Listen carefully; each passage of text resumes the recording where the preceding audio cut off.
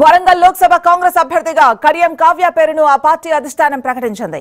ఈ మేరకు ఏఐసిసి ప్రధాన కార్యదర్శి కేసీ వేణుగోపాల్ ఓ ప్రకటన విడుదల చేశారు.